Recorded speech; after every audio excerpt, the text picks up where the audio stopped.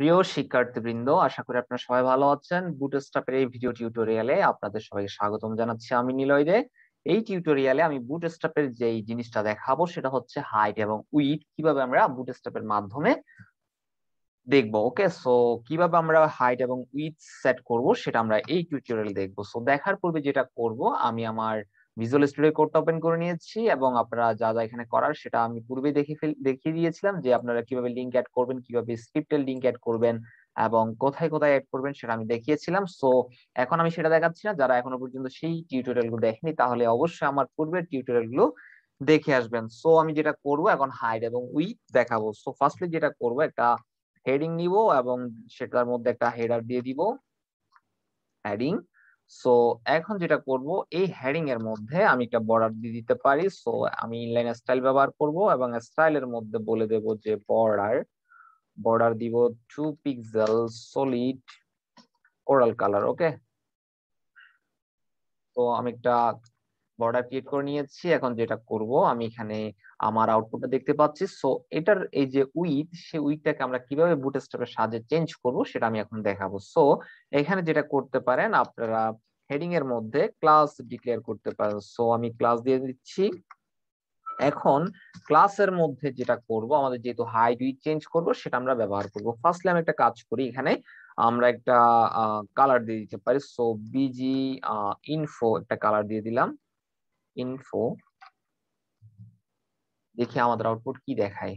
Okay so দেখতে পাচ্ছেন একটা ব্যাকগ্রাউন্ড কালার চলে এসেছে। এখন যেটা করব আমাদের উইথগুলো চেঞ্জ করব। সো উইথ চেঞ্জ করার জন্য আমরা উইথ এর ডাব্লিউ লিখব এবং একটা হাইপেন দিয়ে আমরা কতটুকু পর্যন্ত উইথ দেখতে চাচ্ছি সেটা বলে দিব। ফার্স্টলি দেখতে চাচ্ছি আমি পঁচিশ পার্সেন্ট সো সেভ করে আমি রিলোড করে দেখাচ্ছি। দেখতে পাচ্ছেন পঁচিশ পার্সেন্ট আউটপুট দেখাচ্ছে। এরপরে যেটা করব, আমি এখন চাচ্ছি পঞ্চাশ পার্সেন্ট আউটপুট দেখব। ওকে রিলোড করলাম, তাহলে দেখতে পাচ্ছেন পঞ্চাশ পার্সেন্ট উইথ আমাদের এখানে দেখাচ্ছে। এবং এরপরে যেটা করব, আমি যদি সেভেন্টি ফাইভ দেখতে চাই, তাহলে দেখি আমাদের আউটপুটটা কীরকম দেখে হ্যাঁ দেখতে পাচ্ছেন সেভেন্টি ফাইভ সে দেখাচ্ছে। সরি এখানে সেভেন্টি ফাইভ হবে, সেজন্য আউটপুটটা রং দেখাচ্ছে।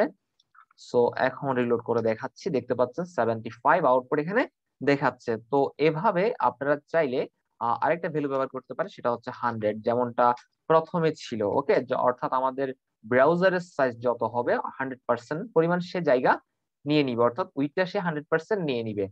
এখানে আমরা যেটা করব উইডের ক্ষেত্রে আমরা চারটা ভ্যালু ব্যবহার করতে পারব। একটা হচ্ছে টোয়েন্টি ফাইভ একটা হচ্ছে ফিফটি এরপর হচ্ছে সেভেন্টি ফাইভ এবং হান্ড্রেড এই চারটা ভ্যালু আমরা ব্যবহার করতে পারব। এখানে চাইলে আপনারা কালার ব্যবহার করতে পারেন। আরও যেমন ধরুন ওয়ার্নিং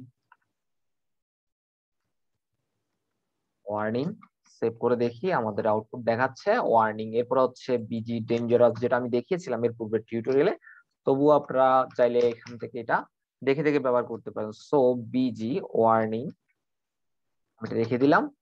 এরপরে যেটা করব, আমরা আমাদের হাইট হাইট কীভাবে অ্যাড করতে হয় সেটা দেখব। সো হাইট দেখার জন্য আমি যেটা করব, এটা এখান থেকে কেটে দিলাম। এরপরে যেটা করব, আমি একটা ডিপ নিব ডিপ এর নাম দিলাম বক্স এবং বক্স এর মধ্যে আমি হেডিং দিব এবং হেডিং এর মধ্যে বলে দিব যে হেডিং তো এরপরে যেটা করব, এই বক্স ক্লাসের মধ্যে আমি একটা স্টাইল দিয়ে দিব। তো ইনলাইন স্টাইল হিসেবে আমি দিতে চাচ্ছি বর্ডার বর্ডার আমি দিব টু পিক্সেল সলিড সলিড আমি দিব রেড কালার সো আমি সেভ করে দেখি আমাদের আউটপুটটা কি দেখায়।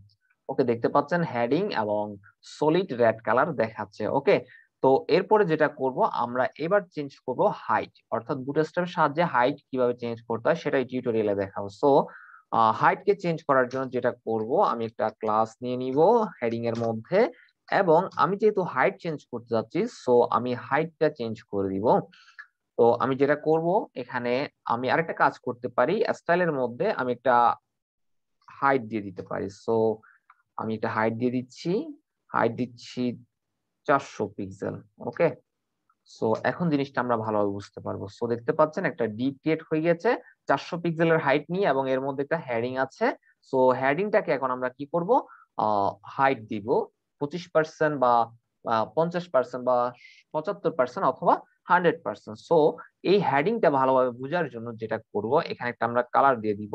যেমনটা উইথের ক্ষেত্রে দিয়েছিলাম বিজি ডেঞ্জার দিয়ে দিতে পারি, অথবা আমি বিজি প্রাইমারি দিয়ে দিলাম।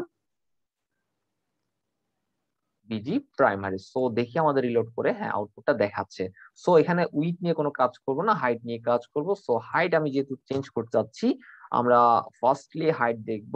পঁচিশ পার্সেন্ট সো দেখি আমাদের আউটপুটটা কীরকম দেখে। দেখতে পাচ্ছেন পঁচিশ পার্সেন্ট হাইট যখনই আমি নিয়েছি, তখন সে পঁচিশ পার্সেন্ট হাইট এখানে দেখাচ্ছে। আর আমি যখন পঞ্চাশ পার্সেন্ট হাইট নিব, সেক্ষেত্রে আউটপুটটা কীরকম দেখা একটু দেখি। তো, দেখতে পাচ্ছেন হাইট পঞ্চাশ পার্সেন্ট আমাদের আউটপুট হিসেবে দেখাচ্ছে। তো, এভাবে চাইলে আপনারা পঁচাত্তর এবং হান্ড্রেড পার্সেন্টের জন্য দেখতে পারেন। সো আমি দেখিয়ে দিচ্ছি। এরপরে যেটা করব, আমি হান্ড্রেড পার্সেন্ট নিয়ে নিব। তো আমি হান্ড্রেড পার্সেন্টের জন্য দেখি আউটপুটটা হ্যাঁ দেখতে পাচ্ছেন। সো এখানে যে কাজটা হচ্ছে, সেটা হচ্ছে আমরা যে ডিপটা নিয়েছিলাম, সেই ডিপের মধ্যে সেই পার্সেন্টেজগুলো হিসেব করছে, পুরো ব্রাউজারের ক্ষেত্রে না। সো যখন আমরা এই ডিপের মধ্যে আমরা এখানে উইথ নিয়েছিলাম চারশো পিক্সেল এবং এই চারশো পিক্সেলের মধ্যে, অর্থাৎ চারশো পিক্সেলের পঁচিশ পার্সেন্ট সে দেখাচ্ছে এবং পঞ্চাশ পার্সেন্ট সে দুইশো দেখাচ্ছে এবং হান্ড্রেড পার্সেন্ট যখন তখন সে কি করছে? পুরো হাইটটাই সে কাভার করে নিচ্ছে। তো এভাবে হাইট উইথ ব্যবহার করা হয় বুটস্ট্রাপের সাহায্যে। তো আপনারা গিয়ে বুটস্ট্রাপের মধ্যে যে জিনিসটা দেখতে পারেন, আপনারা এখানে ইন্ট্রোডাকশনে প্রথমে গিয়ে, এরপরে কম্পোনেন্টস গিয়ে আপনারা একটু নিচের দিকে করলে প্রোগ্রেস দেখতে পারবেন। সো প্রোগ্রেসের মধ্যে গেলে আপনারা হাইট উইট নিয়ে জিনিসগুলো দেখতে পারেন। সো আপনারা এখান থেকে ব্যবহার করতে পারেন অথবা এখানে গিয়ে হাইট উইট লিখে সার্চ করতে পারেন। সো এখানে হাইট উইট দেখতে পাচ্ছেন অনেকগুলো।